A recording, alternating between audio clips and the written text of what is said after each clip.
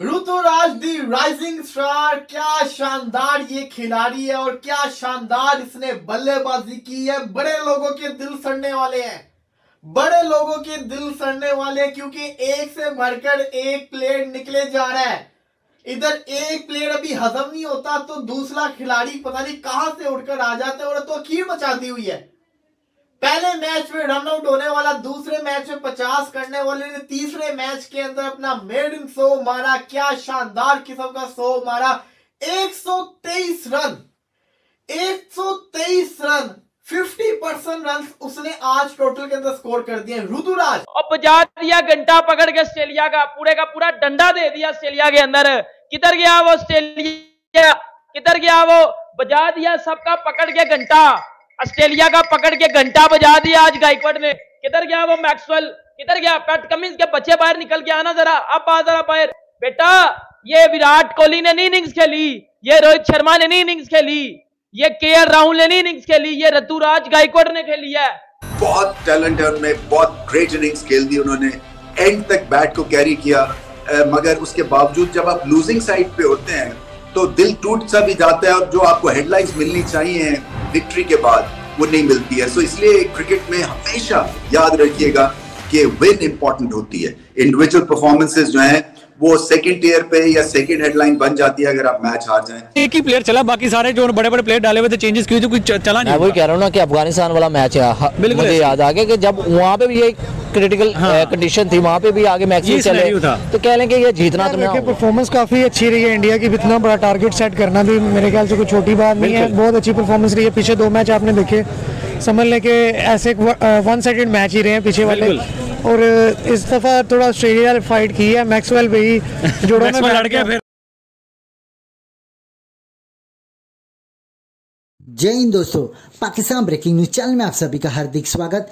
Maxwell के heroic innings के कारण ऑस्ट्रेलिया ने भारत को तीसरे टी ट्वेंटी मैच में हराकर सीरीज़ को ज़िंदा रखा है। पर पूरी दुनिया के चर्चे में ऋतुराज गायकवाड़ का नाम सबसे अव्वल में लिया जा रहा है, क्योंकि जिस तरीके से ऋतुराज गायकवाड़ ने तीसरे टी ट्वेंटी मैच में बैटिंग की, उनकी तारीफ़ तो अब पाकिस्तानी मीडिया भी कर रहा है, जहाँ पर पाकिस्तानी मीडिया का कहना है कि पहले दो विकेट सस्ते में जाने के बाद ऋतुराज गायकवाड़ ने पूरे मैच के प्रेशर को सोख कर जिस तरीके से पारी खेली है, ऋतुराज गायकवाड़ आने वाले दिनों में एक बहुत बड़े बल्लेबाज बनेंगे।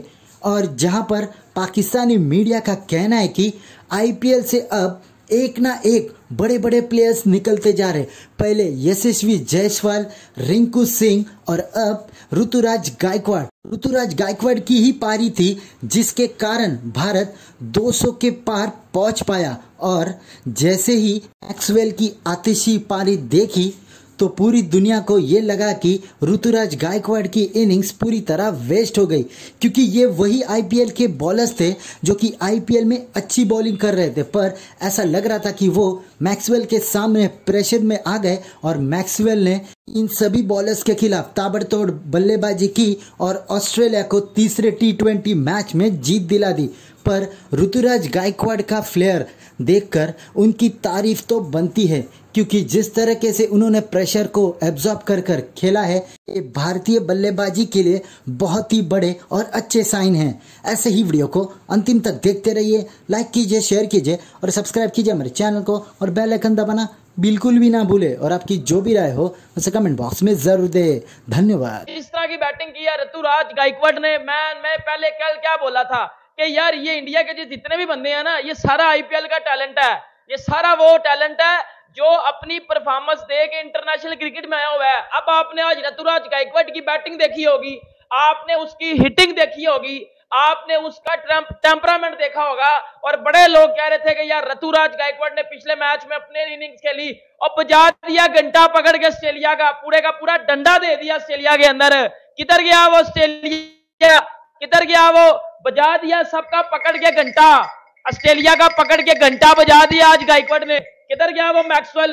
किधर गया? पैट कमिंस के बच्चे बाहर निकल के आना जरा, अब आ जरा बाहर। बेटा, ये विराट कोहली ने नहीं इनिंग्स खेली, ये रोहित शर्मा ने नहीं इनिंग्स खेली, ये के राहुल ने नहीं इनिंग्स खेली, ये ऋतुराज गायकवाड़ ने खेली है। ये अभी इंडिया का आगे फ्यूचर स्टार है। ये बहुत बड़ा बैट्समैन है, बहुत बड़ा टैलेंट है और एम एस धोनी के हाथों से निकला हुआ बंदा। बेटा, कुछ करे ना, ऐसा हो नहीं सकता। एम एस धोनी के हाथों से ये लोग हैं। और ऋतुराज गायकवाड़ तो आपको पता है कि आईपीएल में भी एम एस धोनी के हाथों में खेलता है। और जिसकी जिसकी तरबियत एम एस एम एस जैसे बंदे ने की हो, जिसकी तरबियत एम एस जैसे लेजेंड क्रिकेटर ने की हो, वो बजा देते हैं पकड़ के। 123 रन 50 परसेंट रन उसने आज टोटल के अंदर स्कोर कर दिए ऋतुराज, हम कह रहे हैं कि इंडिया का डीकू सिंह बड़ा अच्छा फिनिशर है, लेकिन ऋतुराज ने जिस किस्म का फिनिश किया है लास्ट थ्री ओवर के अंदर इंडिया ने 69 रन मारे हैं। 69 रन 69 यहाँ पे 10 ओवर में नहीं लगते होते। और इंडिया ने 69 रन लास्ट थ्री ओवर्स के अंदर मार दिए। क्या शानदार किस्म का खेल ये लोग पेश कर रहे हैं। मज़ा आ गया। यकीन करें कि मेरी तबीयत नहीं ठीक थी। मेरा बिल्कुल मूड नहीं था कि मैं लाइफ जाऊँगा, क्योंकि मुझे बड़ा जिसको कहते हैं ना, बुखार चढ़ा हुआ, लेकिन क्योंकि इसने शानदार किस्म की बल्लेबाजी की, मैं मजबूर हो गया कि नहीं, इस बंदे को अप्रिशिएट करना पड़ेगा। ये बंदा इसका हक बनता है। मैं 102 के जिसको कहते हैं ना फीवर के अंदर इस आपसे बात कर रहा हूँ, सिर्फ़ और सिर्फ़ इस बंदे की इनिंग्स के ऊपर, वरना मेरा बिल्कुल इरादा नहीं था। लेकिन जो इसने शानदार किस्म की बल्लेबाजी की है, दिल से तारीफ़ करना इसकी बनती है। मैंने पहले भी कहा, बड़े लोगों के दिल सड़ने वाले हैं, वो सड़ेंगे। क्योंकि यहाँ पे एक से बढ़कर एक खिलाड़ी निकले जा रहा है। अभी रिकू हजम नहीं हो रहा था, अभी जायसवाल हजम नहीं हो रहा था, अभी जिसको कहते सूर्य कुमार यादव को बड़ी मुश्किल से हजम किया था, अब ये ऋतुराज आ गया। अफसोस, मुझे सिर्फ़ एक चीज़ का ही है कि ऋतुराज गायकवाड़ की इनिंग्स आया होगी। बहुत टैलेंट है उनमें, बहुत ग्रेट इनिंग्स खेल दी उन्होंने। एंड तक बैट को कैरी किया मगर उसके बावजूद जब आप लूजिंग साइड पे होते हैं तो दिल टूट सा भी जाता है और जो आपको हेडलाइंस मिलनी चाहिए विक्ट्री के बाद, वो नहीं मिलती है। सो इसलिए क्रिकेट में हमेशा याद रखिएगा कि विन इंपॉर्टेंट होती है। इंडिविजुअल परफॉर्मेंसेज जो हैं, वो सेकेंड टीयर पे या सेकेंड हेडलाइन बन जाती है अगर आप मैच हार जाए। बट बहुत टैलेंट है और दो एक अच्छे ओवर्स भारत ने करने थे बॉल के साथ। सो वो इनकंसिस्टेंसी दिखी प्रेशर में एकदम से दब, दबाव सा आ गया इस बॉलिंग अटैक मगर ये जो सीरीज़ एक अच्छी तरह, एक एक चीज़ हुई है कि अलाइव है। 123 नॉट आउट करें ऑस्ट्रेलिया आगे। नहीं, ऑस्ट्रेलिया का कोई बंदा करे ना 123 आगे। ऊपर से आज देख लो, फिर मैं वही बात करूँगा, फिर मैं वही बात करूँगा, इंडिया की ये मेन टीम नहीं है। ये इंडिया की यंग आईपीएल की टीम है। वो बदला ले रही है आगे। कोई दूसरे बदला लेते ना तो फिर भी अलग बात थी। अभी कुछ लोग आएँगे और यार जी गया इंडिया जीत गया। तो घंटे गए, बच्चों, ये देखो, बदला ले कौन रहा है? सामने ऑस्ट्रेलिया की मेन टीम है, और दूसरी तरफ़ इंडिया का आईपीएल का यंग टैलेंट है। मतलब आईपीएल वर्सेस ऑस्ट्रेलिया हो गया ना, बात तो वो होगी कि आईपीएल वर्सेस ऑस्ट्रेलिया मैच हो रहे हैं। किधर गया ऑस्ट्रेलिया का काम? बेटा, चढ़ गया ऑस्ट्रेलिया का। उस दिन वो रंडी रोना करके, दो नंबरियाँ करके आप फाइनल जीत गए हो और अपने आप को बड़ा तीस महान समझ रहे हो।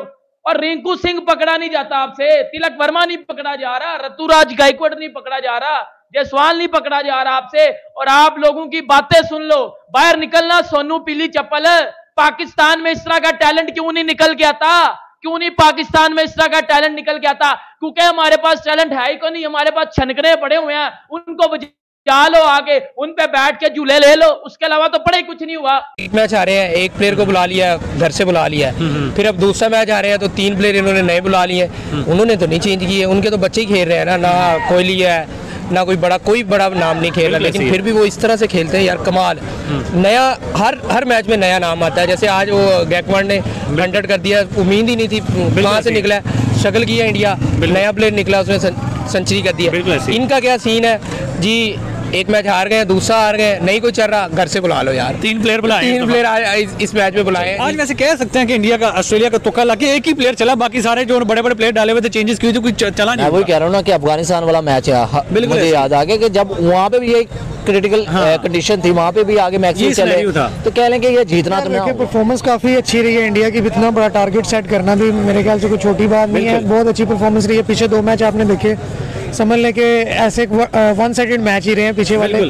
और इस दफ़ा थोड़ा ऑस्ट्रेलिया फाइट की है मैक्सवेल भी जोड़ों में जोड़ों में बैठा